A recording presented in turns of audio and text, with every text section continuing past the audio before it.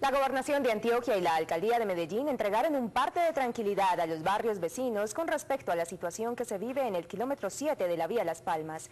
Los entes gubernamentales dijeron que solo la gerencia de concesiones estará autorizada para entregar informes continuos sobre lo que suceda en los trayectos de la región.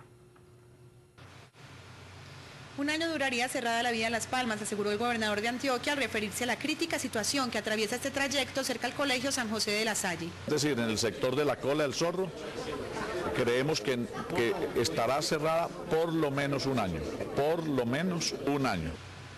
Los entes gubernamentales informaron que solo las concesiones de Antioquia serán autorizadas para informar lo que sucede en las vías regionales.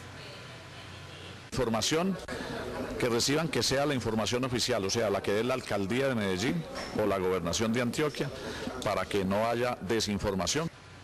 Según los expertos, las lluvias se prolongarán varios meses con las respectivas consecuencias sobre las vías. Por eso la alcaldía insiste en la tranquilidad y la prevención. La ciudadanía de Medellín esté tranquila que cualquier hecho que ponga en riesgo edificaciones o personas se les anunciará previamente, que tenemos un sistema de monitoreo suficiente para garantizarles.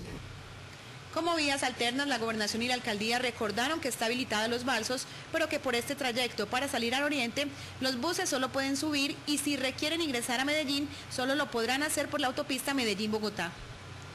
Las autoridades departamentales expresaron además que se habilitarán pequeños colectivos desde el oriente hacia Medellín para que la gente se pueda transportar por los balsos.